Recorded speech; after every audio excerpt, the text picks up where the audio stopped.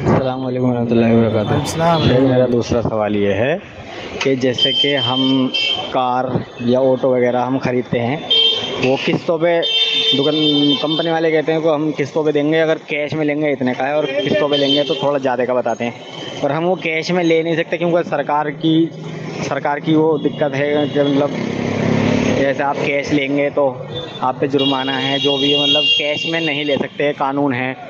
तो इस सूरत में अगर हम कैश में लेते हैं तो कहते हैं दस रुपये की है मान लीजिए मिसाल के तौर पर, और अगर किस्तों पे लेते तो कहने लगे बारह रुपये की है, लेकिन हमें किस्तों पे ही लेनी पड़ेगी, नहीं लेंगे कैश में लेते हैं तो फिर पकड़ जाने का खतरा है। तो इस सूरत में क्या करा जाए, किस तरह खरीदी जाए चीज़? सलाम वरक देख भाई साहब कहते हैं कि ऑटो वगैरह लेना है, अगर वो कैश में ले लेंगे तो जुर्माना है। भाई, ऐसा कैसे हो सकता है कि कैश में लेंगे, जुर्माना है?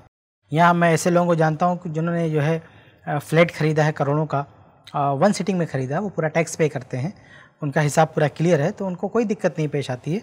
वो खड़े खड़े कोई भी चीज़ खरीद लेते हैं। तो अगर आपका हिसाब क्लियर है तो आप खरीद सकते हैं। ऑटो वगैरह कौन सी बड़ी चीज़ है ऑटो चार पाँच लाख बहुत होता है उसके आसपास आता है।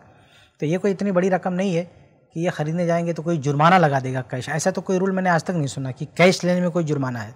और अगर कोई हिसाब किताब में गड़बड़ है तो सिर्फ़ आपकी गलती है। उसकी वजह से थोड़ी कि ये चीज़ जो है आ, कोई उसका निज़ाम बदल जाएगा। और अगर कोई दिक्कत है भी तो आप को क्या पड़ी है कि आप जो है एकदम नई गाड़ी लेके जाएँगे। आपको ऑटो लेना है सेकंड हैंड में ले लीजिए, कोई दिक्कत नहीं है। और असल जो सवाल आपका है ना कि नकद उधार में फ़र्क करना तो ये मसला इख्तलाफी है। बाज़ा कहते हैं नकद उधार में फ़र्क नहीं कर सकते। वो एक ही कीमत पे देना चाहिए और बाद कहते हैं कि वो नकद उधार में फ़र्क के साथ बेच सकते हैं। लेकिन आपका तो कोई मसला ही नहीं है।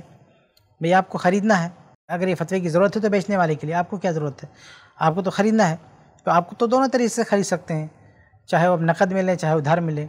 तो जो भी आपके पास ऑप्शन है, अगर बर वक्त पैसा नहीं तो आपके पास कोई ऑप्शन ही नहीं है। और जो अलमा इसको नाजायज़ कहते हैं तो फिर आपको उस तरफ़ नहीं जाना चाहिए, अगर आपको उनकी बात से इतना है तो। आपको कोई सेकेंड हैंड वगैरह का ऑप्शन देखना चाहिए। और नकद अगर आप ले सकते हैं, आपके पास ऑप्शन है तो सबसे बेहतरीन रास्ता ये, हर तरह से आप बच जाएँगे। हर तरह से सेफ़ रास्ता यही है कि आप नकद पैसा दे के ले लें। और अगर कोई दिक्कत है तो आप सेकेंड हैंड ले सकते हैं। बाकी जो गैर कानूनी रास्ते हैं, वो वो अपनाने का तरीका आपको कोई नहीं दे सकता कि कोई गैर कानूनी रास्ता आप अपनाएँ। मसाला के तौर पर आपके माल है, उसको छुपा के रखें और फिर कहें कि कोई मजबूरी है। या कोई सूदी जो है माहदा करें और कहें कि मजबूरी है तो मजबूरी में सूदी माहदे की या इस तरह की कोई इजाज़त नहीं हो सकती।